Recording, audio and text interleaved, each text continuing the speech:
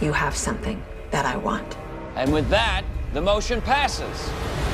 Next Tuesday. If we cut off the head of the snake, the army falls. It's time for you to understand your place. You think your big brother's gonna spare you? Kai would never hurt me. That's how he got into my head because of you. From now on, call me Councilman. American Horror Story Cult